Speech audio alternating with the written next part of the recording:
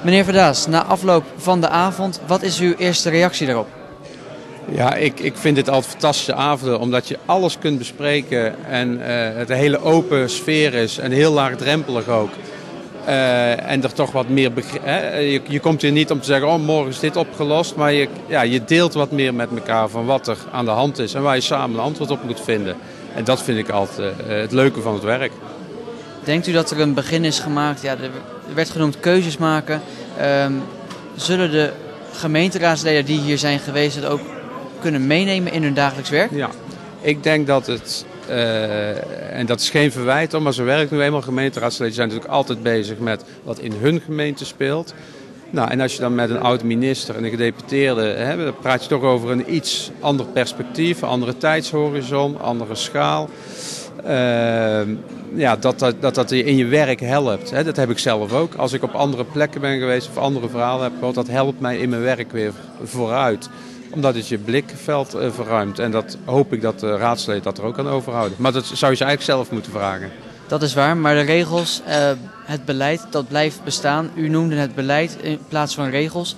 Ja, wat is het verschil? Zijn het niet allebei beperkingen? Nee. Uh, kijk, beleid, daar heb je veel meer vrijheid als politiek om daarvan af te wijken. Om daar andere keuzes in te maken. Regels, die worden vaak ook door anderen aangegrepen om iets tegen te houden of om iemand de voet dwars te zetten. Uh, dus dat zijn wel twee echt wezenlijk verschillende zaken. Uh, en er zitten ook hele goede kanten aan regels. Hè? Alleen je moet ja, nieuwe vraagstukken vragen, ook om nieuw beleid en om nieuwe regels. En dat is lastig, want we weten nog niet uh, hoe we dat moeten doen. Dat, en daar zijn dit soort avonden goed voor.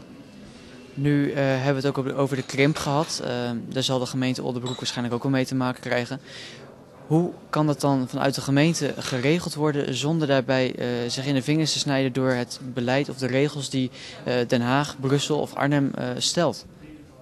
Ik denk dat je moet beginnen met over, over het verder weggelegen perspectief praten. En dan is elke overheid, ook Brussel, ook Den Haag, ook de provincie, is bereid om dan zijn beleid en zijn regels daarop aan te passen. Dat zal moeten.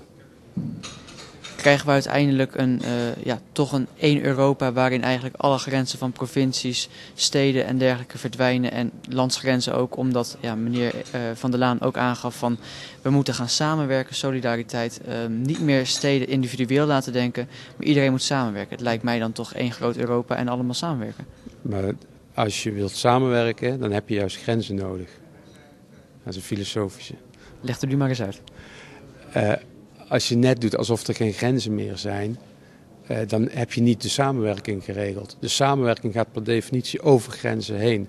En we zullen altijd in Europa verschillende gemeenschappen houden, ongeacht waar je een grens op een kaart zet. En het gaat dus niet alleen om bestuurlijke samenwerking, maar elkaar echt verstaan in een verenigd Europa.